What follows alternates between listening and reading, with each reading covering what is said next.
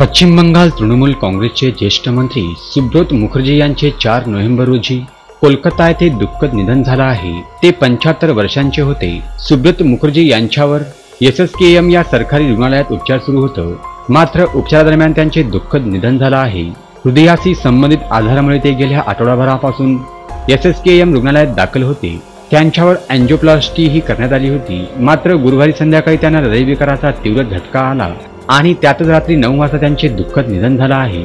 त्यांच्या निधनाची माहिती कळताच पश्चिम बंगालमधील तृणमूल काँग्रेसच्या नेत्या व मुख्यमंत्री ममता बॅनर्जी स्वतः रुग्णालयात पोहोचल्या व त्यांनी मुखर्जी यांच्या कुटुंबियांचे सांत्वन केलं आहे.